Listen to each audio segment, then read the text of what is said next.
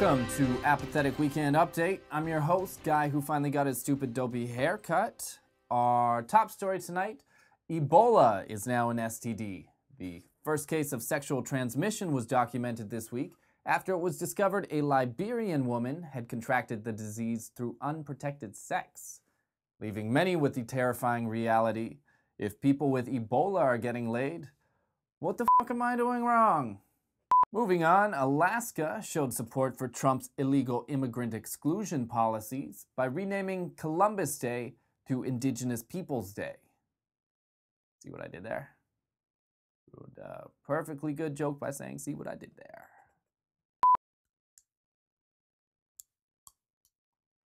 Ooh, is that a raspberry seed? Oh, no, my gums are just bleeding. On Tuesday, creators of the iconic Glue It Yourself magazine, Playboy, announced that due to the plethora of free porn on the internet, they would no longer be publishing nude photos of women, and instead focusing on their articles. You know, those things that aren't all over the internet. In diabetic ear news, General Mills announced this week it would be releasing marshmallow only boxes of Lucky Charms after only 51 years of requests, leaving us all with questions like uh, so does that mean that there's gonna be boxes with no marshmallows too? Or is it just gonna be like a, like a charm inflation? Because, uh, I don't know, it just doesn't really mean as much when all the numbers on the roulette wheel are the same color, you know? Like being Star Wars opening up against a chipmunk movie this Christmas. More red than green this year, you poor bastard.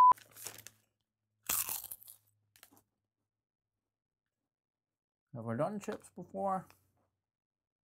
I don't remember if I've done chips before.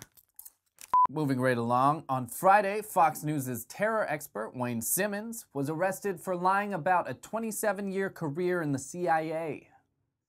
Crazy stuff. Uh, better than finding out someone you worked with was in the CIA for 27 years and didn't tell you, though. Like, what the fuck, Bill? I thought we were close friends because we're both Rangers fans. Uh, not because you saw me in a Che Guevara t shirt once. You'd have known you'd both let me down. Bases loaded. Here comes the pitch. Bautista bat flip. Moving on, the state of Illinois announced that it would not be paying out over 288 million in lottery winnings until its budget crisis was resolved. In related news, we know where all the marshmallow list boxes of Lucky Charms went. Big news out of the Apathetic Weekend Update studios. According to the analytics, we are on track to make our first dollar in ad revenue this weekend. So, joining us to discuss what that money should be put towards, my chill friend Kumi. Kumi? Blessed to be here, man. So, what do you think I should put that dollar towards? You're gonna wanna spend it on girls, man. There's nothing like a really cool chick and a bad bitch. Okay, and uh, how would I do that? Ankle bracelets, man. Bitches love dangly shit where it doesn't belong. You get a tiny chain bouncing off her Achilles, soon that'll be all that she's wearing. Ah, uh, yeah. I mean, uh, cool, cool idea. Uh, oh, and coconut oil. That shit should be sold with knee pads, man. All right, that's, uh, feel like you were going somewhere graphic with that, so I'll stop you right there. For more discussion, we turn now to Simon, my other friend who also definitely smokes weed. Simon? Hey, buddy. Great to be here. Great to have you here. So what do you think of Kumi's suggestion for the dollar? Um, I would have to say it's lame, unless you're into girls that fuck like a deflated balloon or a crippled spider. Uh, okay, interesting. Uh, so what do you think I should spend it on? Something awesome, obviously. You want interesting shit. Mustache scarves. Half a smoked Belmont cigarette. Nintendo stuff Nintendos. Everything else will come probably. Ah, uh, I, I gotta be honest with you. I didn't really understand. It's a simple equation. That... Be weird, get that strange, play Sandstorm by Darude. That's it. That's all you gotta do. Kinda starting to feel like crowdsourcing this was a mistake.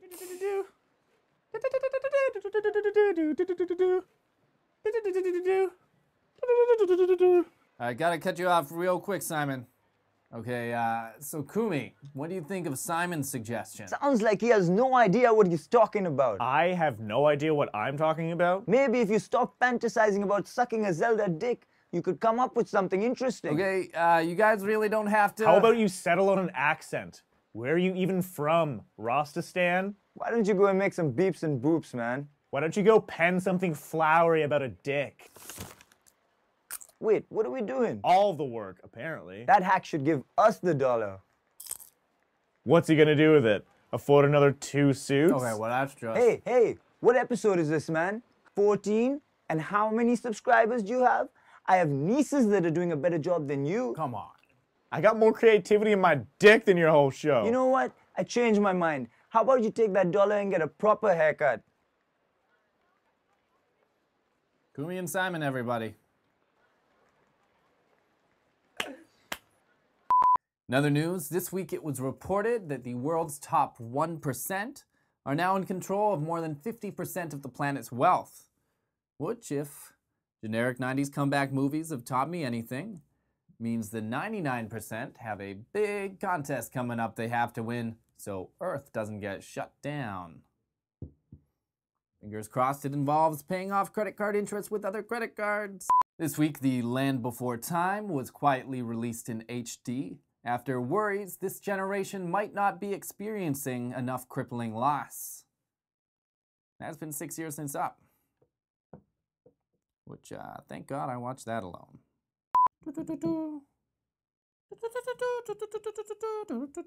Ah, God damn it, Simon.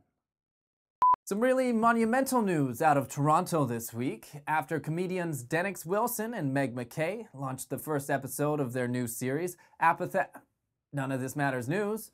A completely original take on the popular SNL Weekend Update segment, featuring anchors that don't really care about the things they're reporting on. Welcome to None of This Matters News. The Pimp Edition includes every conceivable phrase you could think of, except for please let me go. More like Rosetta Stone. First sign of trouble was when children were asked if they wanted to leave Flint, Michigan. They answered no. Why are we doing I this? I don't know. Like, we have better things to do. I wake up in the morning and I just see black.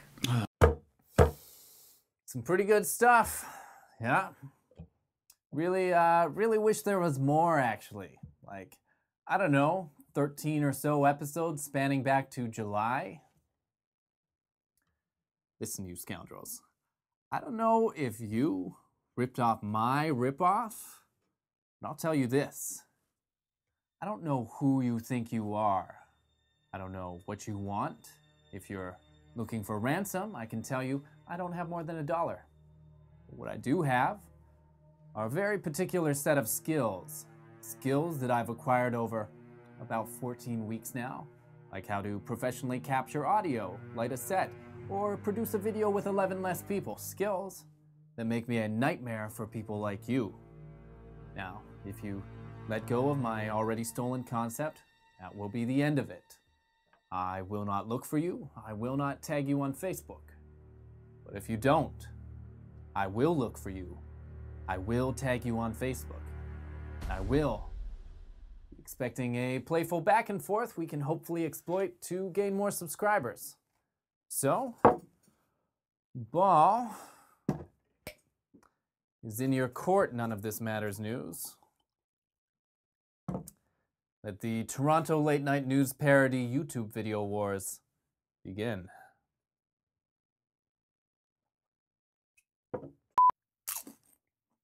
feel like I've definitely done this before.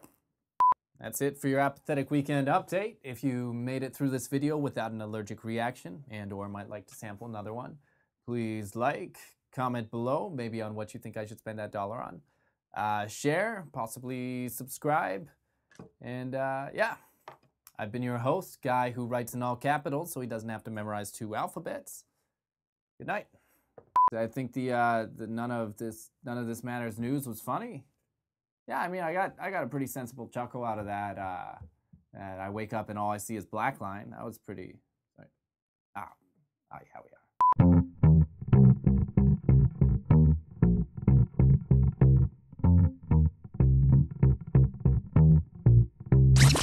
Cheza